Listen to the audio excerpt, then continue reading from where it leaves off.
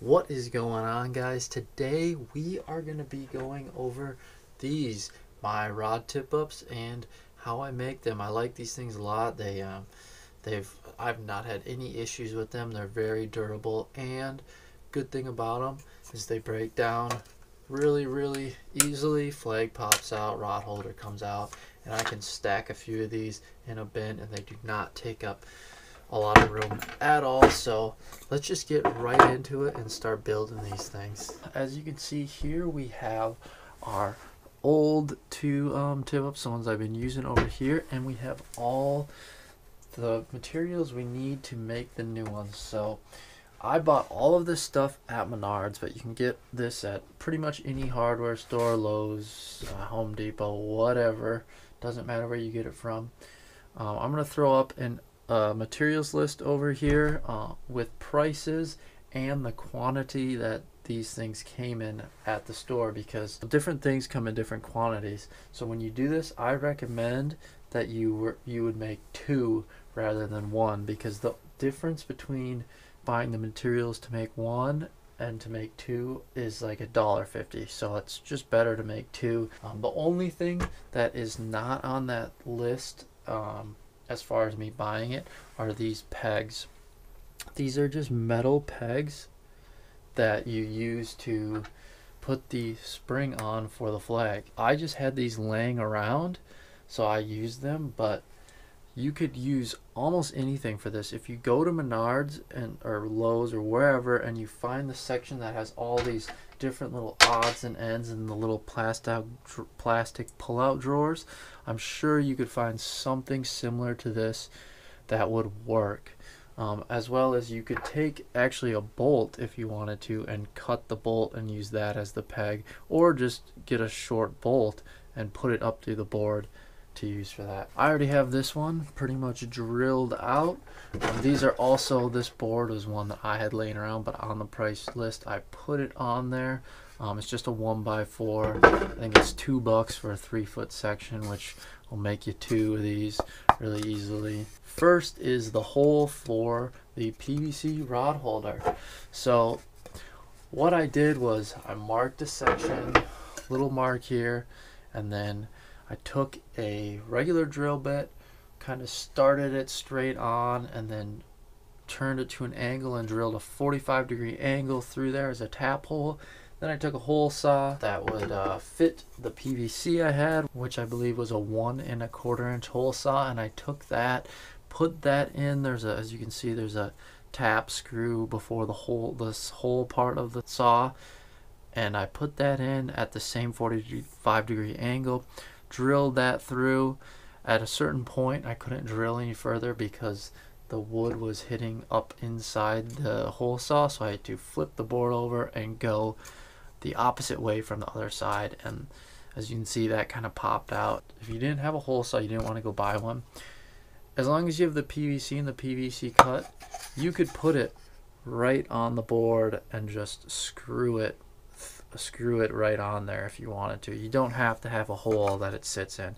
I just have a hole because it sits in there and I can pop it in and out for storage. The next part, really simple, was the hole for the peg. Take a drill bit, whatever size, you need for your peg, drill it right through. Same thing for the eye screws, just drill holes right through there as taps for your eye screws to screw into. To determine where the screw eye holes need to go, just put your bolt right on the end of the board, make a mark just inside the bolt head and then about three quarters of an inch from the other end. Then moving on to the PVC. This is one and a quarter inch PVC which will accommodate pretty much every single size rod you would ever have. Three foot section of this was like 250, 270, something like that.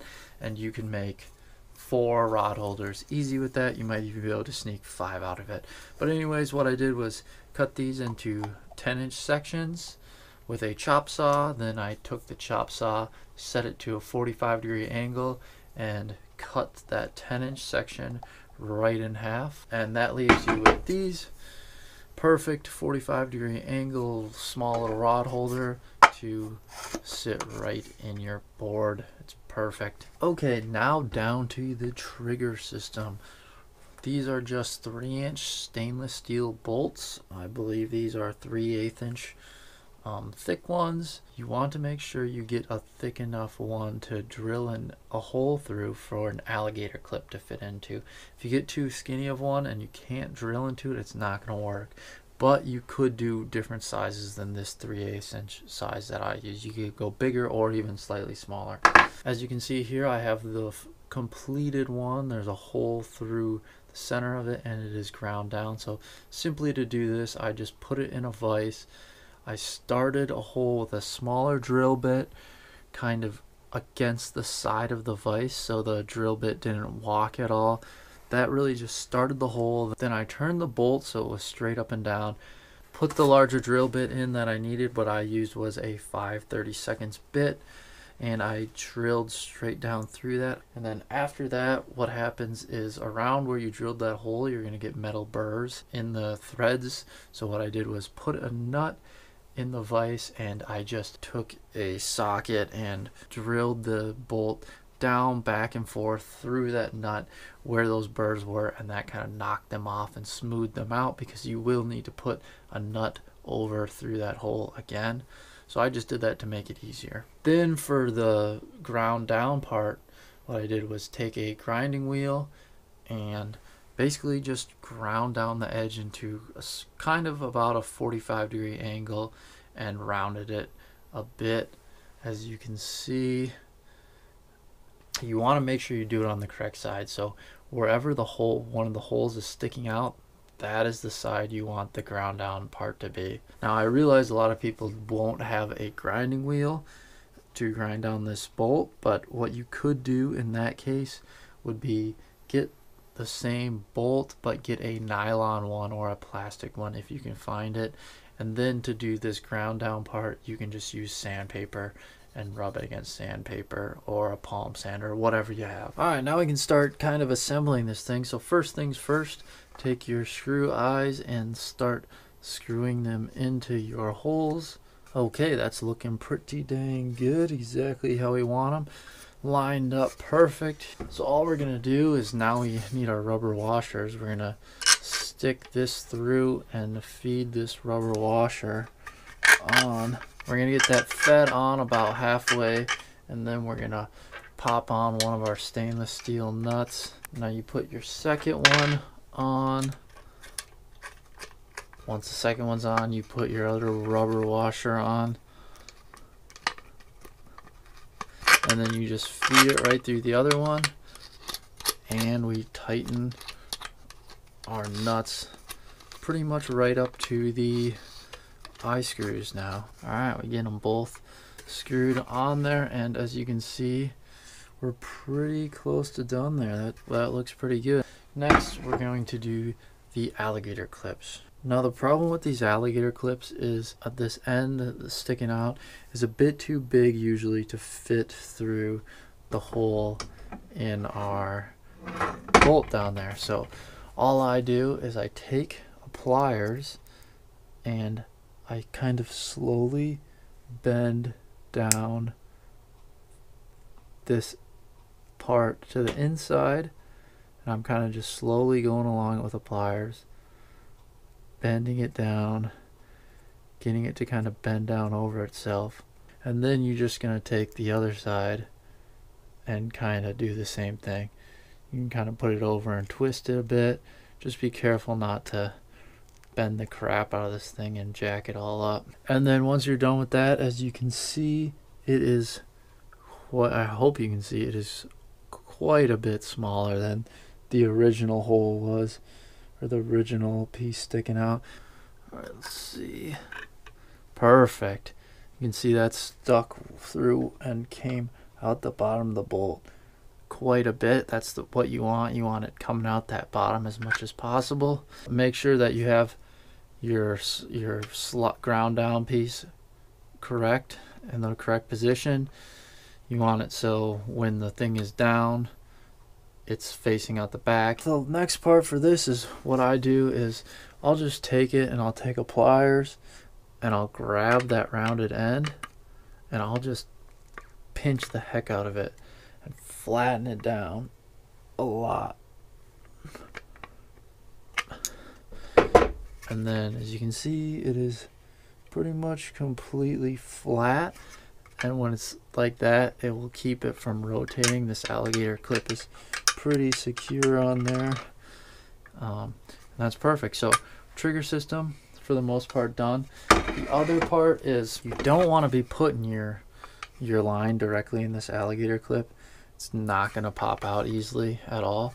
So what I do is take airline tubing and cut little pieces, half inch pieces or so, and just slip them right on over the teeth of the alligator clip.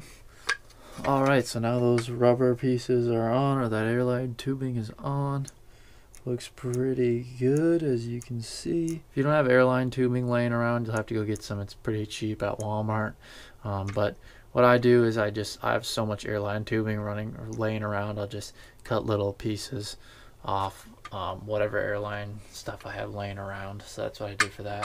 Okay, let's get to the flag now. So first we just pop in our our uh, post for the flag and obviously when you do this if you don't have these posts like this and you have to go buy something this is the first thing you need to get you need to get the post first and then once you find the right post you're going to use then you can go searching for a spring this is called a compression spring you can use an extension spring whatever you can find and just make sure it will fit on the post you're using good like this one does and then on the other side, you're going to need something to put in this end so that you can put your flag pole down through. So I just have these rubber stoppers. They were in the little pull-out plastic drawer part with all the odds and ends at Menards. You could use these or there's probably some other things you could think of or find to, to put in there. But, you know, I just took it, put it in a vise, drilled out a hole through it. And I used an eighth inch hole in this for this one because what we got here is our flag pole which is just welding steel round this is an eighth inch one that's the smallest diameter they had this is a three foot section smallest section they had. I think this was like two bucks or something like that. Our hole drilled out through there. We're just gonna stick this on down through there. Sticks on in there. Perfect. Then we can put this down. And then we'll just mark with a marker kind of how long it needs to be. About there looks pretty much perfect. And we'll just take it and take think it's gonna be tough but pliers or something and just cut it if we can there we go all right for the actual flag I'm just gonna keep it simple I'm just I'm just gonna put some of this gorilla tape on you get fancy with different colored duct tapes or whatever. Honestly, I don't think it really matters because it's a black flag, if it's a green flag, gray flag, it doesn't matter. I'm going to see it. It's not like it's two miles away from me. Real simple flag. Stick that on there. Boom, works. Now that it's all done, let's do a quick demonstration for you. First of all, the trigger system you want very easily rotating, but not so easily that um, your minnow is constantly setting it off. So to adjust it, you just adjust the nuts on the side here. Now we just put our bait on, drop it down the hole. Your hole is going to be around here somewhere. Put your flasher down, find how far you need your bait set to. Then we're going to take the line and we are going to barely clip it just barely in here. We don't want it in here too tight but also we don't want it in there too loose. So you kind of have to play around and figure out for yourself how that works best. Then we're going to put our flag down. I tend to barely clip it on there and these threads hold it on there really well. Now it's all set. We go do whatever and a fish comes, hits the thing, starts pulling it, trigger is rotating, flag goes, and this is in too tight as you can see, but eventually it will pop it out and now it's free spooling so obviously you play around with that and you figure out okay that's that's too tight so next time I'll set it looser as you guys can see these things are really easy to make they're cheap and they work really well. I've, I've had a lot of success with these things. And I'm actually going to go out this week and be using these for some walleye. So my next upcoming videos, I'll be using these exact ones that I just made. And I'm to try and get some live action shots of these things getting taken with a fish and getting set off. So if you want to see that, look out for my next couple videos. Other thing with these things is since I'm using monoline, which I recommend, and since there's no trigger system on the actual line like with the iFish Pros, while the iFish Pros are a great product, these have the advantage when you have freezing conditions where your ice is where your hole is constantly freezing over this fish will still be able to grab the bait set it off and pull this mono through your frozen over hole very easily. Got plenty of fish that I go up and the line is peeling out and I have to stomp that ice out before I can get the fish up but that's gonna do it. I hope that helped you guys out. I hope you can make some of these for yourselves. If you liked it drop a like, subscribe if you want. Otherwise, do whatever the heck you want. I'll see you guys in the next one.